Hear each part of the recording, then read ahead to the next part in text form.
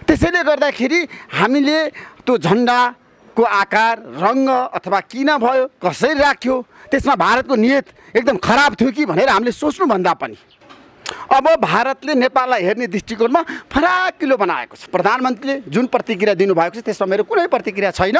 म आफ्नो अडानमा छु भने मैले भने तपाईँले राजीनामा किन नदिने भने मैले सोध्नुपर्छ तपाईँले गलत काम गर्नुभएको छ मुख्यमन्त्री अब राजीनामा दिनुहुन्न भने ऋषि धमलाजी तपाईँले भन्दै म राजीनामा दिन्न। मैले किन राजीनामा दिने? राष्ट्रिय सभा गृहमा नेपाली पत्रकारहरूलाई रोकेर भारतीय पत्रकारहरूलाई छिराइयो भनिएको छ।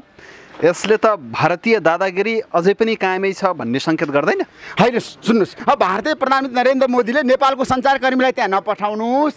भारतको सञ्चारकर्मीलाई मात्रै पठाउनुहोस् भनेर भन्नुहुन्छ? हामीले त्यो सोच्नै हुँदैन क्या। यो सानातिना कुरा हो क्या नेपाल भारत सम्बन्धको कुरा गर्दाखेरि। अब झन्डा अथवा अहिलेको अवस्थामा आकार त्यसको रङ्गको बारेमा हामीले विवादमा अल्मन लिएर बस्ने बेला होइन। भारतीय सरकारको जस्तो सुकै सहयोग हुन्छ र त्यसको लागि भारतीय प्रधानमन्त्री नरेन्द्र मोदी तयार छ भनेर उहाँले जुन किसिमको अभिव्यक्ति दिनुभएको छ यसले गर्दाखेरि एउटा माहौल बनेको छ देशमा विकासको। केपी शर्मा ओलीको दिल्ली भ्रमण र भारतीय प्रधानमन्त्री नरेन्द्र मोदीको नेपाल भ्रमणबाट। झन्डाको आकार र रङ्गको कुरा गर्दाखेरि त्यो नेपाल सरकारले हेर्न पर्ने कुरा हो। नेपाल सरकारका मन्त्रीहरू त्यहाँ छन्। प्रधानमन्त्री स्वयं जानुभएको छ केपी शर्मा ओली। जानकी मन्दिरमा गएर उहाँले भारतीय प्रधानमन्त्री नरेन्द्र मोदीलाई स्वागत गर्नुभएको छ। आज नेपालको पर्यटन क्षेत्रको विकास र विस्तारको कुरा गर्दाखेरि मुक्तिनाथमा भारतीय प्रधानमन्त्री पुग्ने बित्तिकै अन्तर्राष्ट्रिय ध्यान केन्द्रित भयो भएन। जानकी मन्दिरमा पुग्ने बित्तिकै भारतको ध्यान केन्द्रित भयो भएन। भारतबाट लाखौँ लाख त्यहाँ चार चारजना मन्त्री पुग्नु भएको छ। भारत विवाहको अभिनन्दन समारोहमा रक्षा मन्त्री ईश्वर पोखरेल शिक्षा मन्त्री गिरिराजमणि पोखरेल तपाईँको यातायात मन्त्री रघुवीर महासेठ धेरै जानुभएको नि त्यहाँ? मन्त्रीहरू ती मन्त्रीहरूले हेर्नुपर्ने होइन। के भएको छ भनेर? त भारतीय प्रधानमन्त्री नरेन्द्र मोदीसँग यो पटक पनि दुई पटक भेटेँ मैले। जनकपुरमा के के के कुरा भयो तपाईँ? होइन उहाँलाई कति बेर छलफल भयो तपाईँको भारतीय प्रधानमन्त्री नरेन्द्र मोदी? उहाँसँग मेरो दुई चार मिनट छलफल भयो किनभने उहाँ निकै व्यस्त राजनेता हो।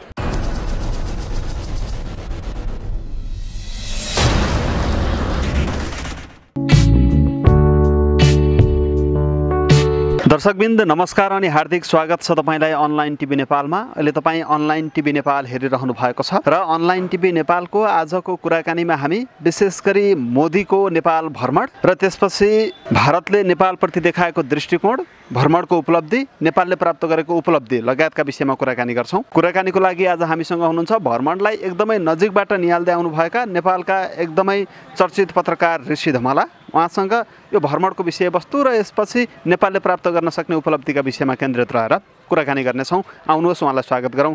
ऋषिजी स्वागत छ तपाईँलाई। धन्यवाद। आराम हुनुहुन्छ एकदम आराम। तपाईँलाई कस्तो छ? म एकदम ठिक छु। यो दुई तिन दिन एकदम धपडी भयो होला। हुन त तपाईँ त्यसै पनि सधैँ धपडीमै रहने मान्छे। होइन मेरो जीवन नै व्यस्त छ किनभने मैले देश र जनतामा समर्पित गरेको छु पत्रकारिता पेसा। त्यसैले गर्दाखेरि म प्रत्येक क्षण सेकेन्ड सेकेन्डमा आफूलाई व्यस्त राख्न चाहन्छु। बिहान साढे चार बजीदेखि बेलुका करिब करिब साढे एघार बाह्र बजीसम्म म व्यस्त हुन्छु। त्यसैले गर्दाखेरि भारतीय प्रधानमन्त्री नरेन्द्र मोदी जनकपुर हुँदै काठमाडौँ आउँदाखेरि पनि म निकै व्यस्त भएँ र मैले जनकपुरमा त करिब तपाईँलाई थाहा छ एघार बजेदेखि एक बजीसम्म राति पनि काम गरेँ। त्यहाँ धेरै पक्षहरूसँग भेटेँ त्यहाँका जनताहरूसँग भेटेँ भारतीय नेताहरू पनि धेरै आएका थिए उनीहरूसँग पनि भेटेँ र समग्र रूपमा भारतीय प्रधानमन्त्री नरेन्द्र मोदीको जुन नेपाल भ्रमणलाई फलदायी उपलब्धिमूलक बनाउनको लागि एउटा सञ्चारकर्मीले खेल्न पर्ने भूमिका र सञ्चारकर्मीले जहिले पनि सकारात्मक सोच राखेर दृष्टिकोण राखेर चिन्तन राखेर अगाडि बढ्नुपर्छ। नेपालमा अब विकास र समृद्धि हुनुपर्छ राजनीतिक स्थायित्व हुनुपर्छ र सबै नेपालीहरूले खुसीका साथ हाम्रो देशमा आत्मनिर्भरताका साथ अब चाहिँ काम गर्न पाउनुपर्छ रहन पाउनुपर्छ र नेपालको मुहार अब परिवर्तन गर्नुपर्छ। आर्थिक र समृद्धिशाली सम्पन्न नेपाल बनाउनको लागि हामी नेपाली आफै सक्षम छौँ। तर त्यसको लागि अन्तर्राष्ट्रिय सहयोग र समर्थन अनिवार्य आवश्यकता छ। नेपालको विकास र समृद्धिमा भारतको सहयोग आजको आवश्यकता हो। भारतीय प्रधानमन्त्री नरेन्द्र मोदीले राष्ट्रिय सभागृहमा अभिनन्दन समारोहमा जुन किसिमको वक्तव्य दिनुभएको छ र मन्तव्यमा उहाँले स्पष्ट रूपमा भन्नुभएको छ नेपालको विकासको लागि म शेर्पा बन्न तयार छु भनेर भारतीय प्रधानमन्त्रीले एउटा सङ्केत गर्नुभएको छ। किनभने सगरमाथा चढ्नको लागि कतिपय पर्वतारोहीहरूलाई शेर्पाको सहयोग चाहिन्छ। त्यसै गरी नेपालको विकास र समृद्धिमा भारतीय सरकारको जस्तो सुकै सहयोग हुन्छ र त्यसको लागि भारतीय प्रधानमन्त्री नरेन्द्र मोदी तयार छ भनेर उहाँले जुन किसिमको अभिव्यक्ति दिनुभएको छ यसले गर्दाखेरि एउटा माहौल बनेको छ देशमा विकासको माहौल बनेको छ र पछिल्लो समय नेपाल भारत सम्बन्धमा एउटा समझदारी विकसित भएको छ। र हिजो चाहिँ प्रधानमन्त्री केपी शर्मा ओलीको पार्लियामेन्टमा जुन किसिमको वक्तव्य आयो र उहाँले जुन किसिमको दृष्टिकोण राख्नुभयो अब नेपाल भारत सम्बन्ध नयाँ उचाइमा पुगेको छ भनेर प्रधानमन्त्रीको पनि तर्क आएको छ त्यसैले गर्दाखेरि समग्र रूपमा नेपाल भारत सम्बन्धको कुरा गर्दाखेरि केपी शर्मा ओलीको दिल्ली भ्रमण र भारतीय प्रधानमन्त्री नरेन्द्र मोदीको नेपाल भ्रमणबाट एउटा वातावरण बनेको छ असमझदारीहरू सबै हटेको छ एउटा समझदारीको वातावरण बनिरहेको बेलामा हामी सबैले सकारात्मक सोच राखौँ र नेपाल भारत सम्बन्धलाई प्रगाढ सुमधुर बनाएर रोटी बेटीको सम्बन्ध छ नेपाल भारत सम्बन्धको कुरा गर्दाखेरि दुई देश बिचको सम्बन्ध नेपाल भारत सम्बन्धको कुरा गर्दाखेरि अरू कुनै पनि देशको त्यस्तो युनिक सम्बन्ध छैन। विश्वमा हेर्नुहोस् तपाईँ। त्यसैले गर्दाखेरि त्यसलाई हामीले अब एकदम राम्रो वातावरणमा अगाडि बढाउनुपर्छ भन्ने निष्कर्ष र सोच र चिन्तन हो मेरो। अब मोदी नेपाल भ्रमण सकेर फर्किनु भयो। अब भारतले पनि नेपाल भ्रमण एकदम उपलब्धि भएको भन्यो भने नेपालले पनि मोदीको भ्रमण उपलब्धिमूलक रहेको भनेर भनिसकेको छ। तर त्यसका केही पाटाहरू पनि छन् जसले गर्दाखेरि विवाद फेरि सतहमा आएको छ। जस्तै बाह्र बिघामा मुख्यमन्त्रीको अभिव्यक्ति र झन्डाको रूप रङ अथवा त्यसको आकार परिवर्तनका कुराहरू छन्। यसले कतिको यो सम्बन्ध राख्छ कतिको अर्थ राख्छ यसले? झन्डाको आकार र रङ्गको कुरा गर्दाखेरि त्यो नेपाल सरकारले हेर्न पर्ने कुरा हो। नेपाल सरकारका मन्त्रीहरू त्यहाँ छन्। प्रधानमन्त्री स्वयं जानुभएको छ केपी शर्मा ओली। जानकी मन्दिरमा गएर उहाँले भारतीय प्रधानमन्त्री नरेन्द्र मोदीलाई स्वागत गर्नुभएको छ। र त्यहाँ चार चारजना मन्त्री पुग्नु भएको छ। भारत विवाहको अभिनन्दन समारोहमा रक्षा मन्त्री ईश्वर पोखरेल शिक्षा मन्त्री गिरिराजमणि पोखरेल तपाईँको यातायात मन्त्री रघुवीर महासेठ धेरै जानुभएको नि त्यहाँ। मन्त्रीहरू ती मन्त्रीहरूले हेर्नुपर्ने होइन के भएको छ भनेर। त्यसैले गर्दाखेरि म के भन्न चाहन्छु भन्दाखेरि अहिलेको अवस्थामा नेपाल भारत सम्बन्धको कुरा गर्दाखेरि अब झन्डा अथवा अहिलेको अवस्थामा आकार त्यसको रङ्गको बारेमा हामीले विवादमा रुमन लिएर अलमन लिएर बस्ने बेला होइन। अभिनन्दन समारोह भव्य भयो। दुई देशबिचको प्रधानमन्त्रीले एक- आपसमा जानकी मन्दिरमा आफ्नो कुरा पनि राख्नुभयो। जनकपुरबाट अयोध्यासम्म बस यात्रा पनि सुरु भएको छ। धार्मिक पर्यटनको र अहिलेको अवस्था भने नेपालको विकास र समृद्धिमा त्यस्तै टेवा पुर्याउने सम्भावना बढेर गएको छ।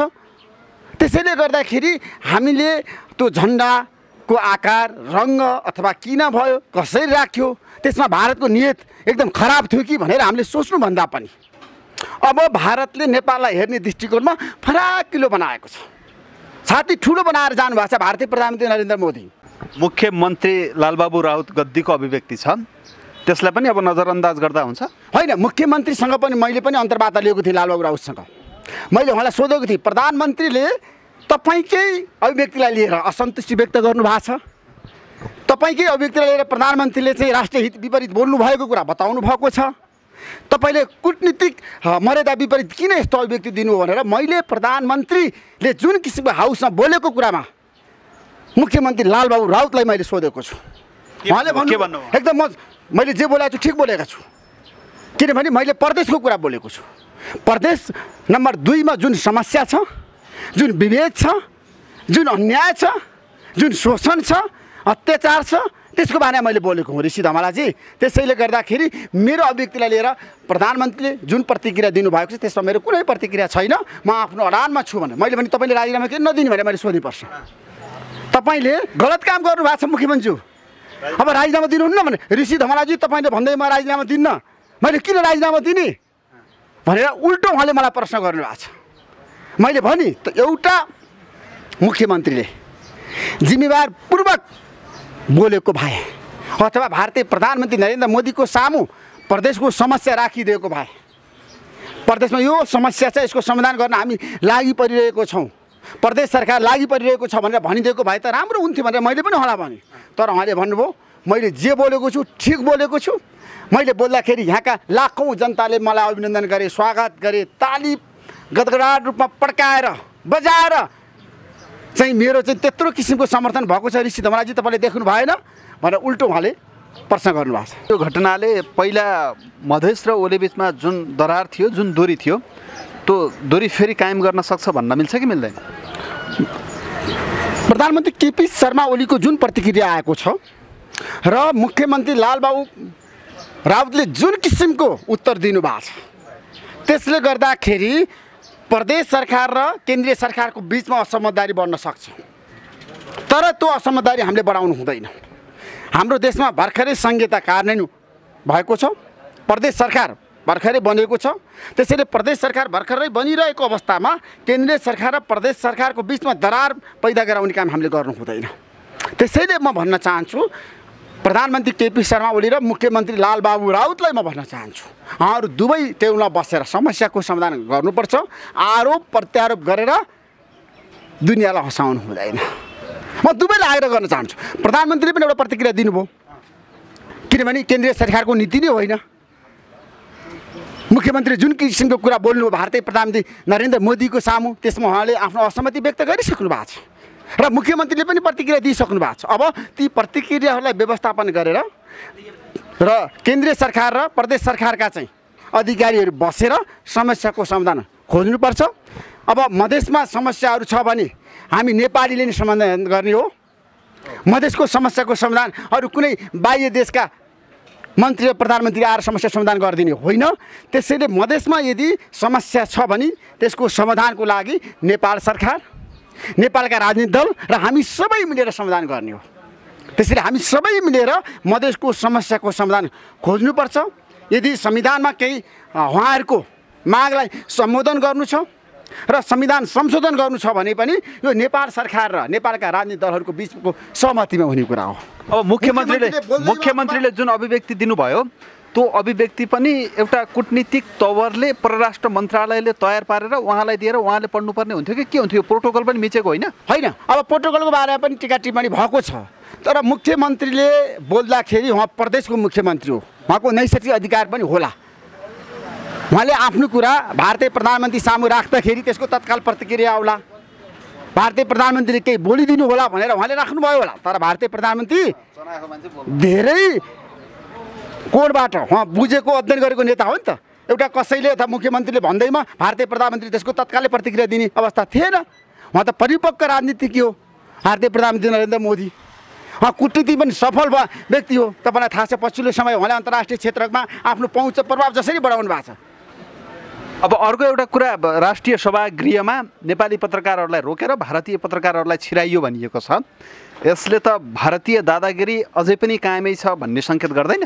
होइन सुन्नुहोस् त्यो व्यवस्थापन गर्ने भन्ने कुरा त यहाँको नगरपालिकाको काम हो महानगरपालिकाको काम हो नेपाल सरकारको काम हो प्रदेश सरकारको काम हो स्थानीय तहको काम हो। अब भारतीय प्रधानमन्त्री नरेन्द्र मोदीले नेपालको सञ्चारकर्मीलाई त्यहाँ नपठाउनुहोस् भारतको सञ्चारकर्मीलाई मात्रै पठाउनुहोस् भनेर भन्नुहुन्छ।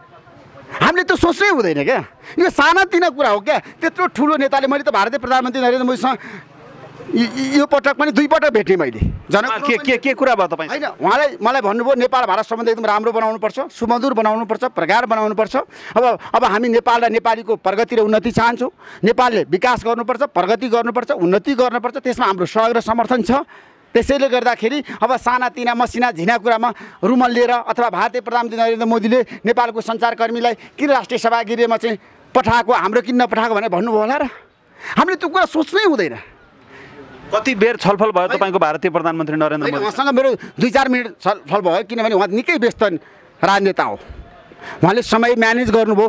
उन्तिस घन्टा नेपालमा बस्दाखेरि उहाँले मुक्तिनाथदेखि पशुपतिनाथ जानकी मन्दिरदेखि सबै ठाउँमा मुस्ताङदेखि तपाईँको धनुषासम्म उहाँ हिमाल पहाड तराईसम्म मधेससम्म पुग्नुभयो नि त। कुनै पनि राष्ट्र अध्यक्ष सरकार प्रमुख आउँदाखेरि छोटो समयमा यसरी घुमेको छ। आज नेपालको पर्यटन क्षेत्रको विकास र विस्तारको कुरा गर्दाखेरि मुक्तिनाथमा भारतीय प्रधानमन्त्री पुग्ने बित्तिकै अन्तर्राष्ट्रिय ध्यान केन्द्रित भइ भएन। जानकी मन्दिरमा पुग्ने बित्तिकै भारतको ध्यान केन्द्रित भइ भएन। भारतबाट लाखौँ लाख चाहिँ धर्मावलम्बीहरू आउन सक्छन्। पशुपतिमा तपाईँको भारतीय धर्मावलम्बीहरू तीर्थयात्रीहरू लाखौँ लाख आउन सक्छन्। वातावरण त राम्रो बनेको छ नि। हामीले त्यो सोच्नुपर्छ। अब फराकिलो दृष्टिकोण राख्नुपर्छ र म त भन्न चाहन्छु यस पटक नेपाल भारत सम्बन्धमा आइस ब्रेक भएको छ माइल स्टोन वातावरण बनेको छ।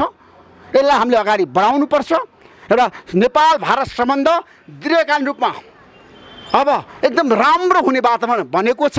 त्यसलाई हामीले एकदम पोजिटिभली समाचार सम्प्रेषण गरेर अब नेपालमा विकास र समृद्धिको पक्षमा जनमत केन्द्रित गरेर तिन करोड नेपालीले खुसीका साथ सम्पन्नताका साथ आफ्नै देशमा बसेर काम गर्न सक्ने वातावरण बनाउनुपर्छ र विदेशमा बसेका सबै नेपालीहरूलाई स्वदेशमै ल्याएर रोजगारी सिर्जना गरेर उनीहरूलाई आत्मनिर्भरता बनाउनेतिर ठुल्ठुलो उद्योग धन्दा खोलेर नेपालमा साँच्चीकै भन्यो भने चिनको रेल भारतको रेल काठमाडौँमा कुदेको गुडेको र सबै नेपालीले चढेको हामीले छिट्टै हेर्न पाउनुपर्छ त्यो वातावरण निर्माण गर्नुको विकल्प छैन। अब सम्पन्न नेपाल बनाउनु हामी सबैको साझा दायित्व र जिम्मेवारी हो। हस् यहाँलाई धेरै धेरै धन्यवाद। थ्याङ्क यू सो मच दर्शकबिन्द अहिले तपाईँ अनलाइन टिभी नेपाल हेरिरहनु भएको छ। अनलाइन टिभी नेपालमा भारतीय प्रधानमन्त्री नरेन्द्र मोदीको भ्रमणलाई निकै नजिकबाट निहाल्नुभएका नेपालका चर्चित पत्रकार ऋषिन्द हमालासँग कुराकानी गऱ्यौँ। उहाँले भनेअनुसार भारतीय प्रधानमन्त्री नरेन्द्र मोदीको नेपाल भ्रमण सफल भएको छ र अब नेपालले विकासको मार्गमा आफूलाई अगाडि बढाउन सफल हुन्छ भन्नुभएको छ। पक्कै पनि त्यस्तै होस्। उहाँलाई पनि धेरै धेरै धन्यवाद दिन चाहन्छौँ। यो भिडियो तपाईँलाई कस्तो लाग्यो कृपया प्रतिक्रिया दिनुहोला र अरू सामग्री हेर्नको लागि हाम्रो YouTube channel online TV Nepal subscribe गर्नुहोला। हस् नमस्कार।